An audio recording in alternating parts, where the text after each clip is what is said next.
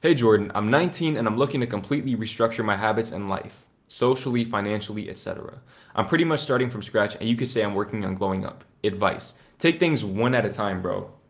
Don't try to transform your life overnight. I get I feel like that's the vibe I'm getting from you is that you want to just completely transform your life overnight. It does not work like that. You might be able to do it for a week. It's not sustainable. Speaking from experience with that.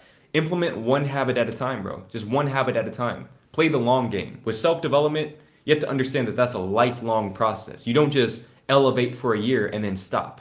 Okay, you do that for the rest of your life. You keep getting better, you keep improving, you keep building on the momentum that you've generated from starting. But you have to play the long game. Implement one habit per month. Just one habit per month. As the months go on, you carry each habit over to the next month. The first month, maybe you start reading every day. And don't don't go out here and try to read a whole book in one week, bro. If you if you know you don't you don't normally read, read like 2 pages a day, bro. 2 pages. Something that you know you can stick to. and then the next month, continue reading, but start taking cold showers as well.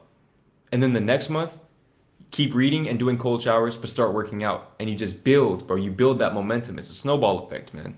Snowball effect.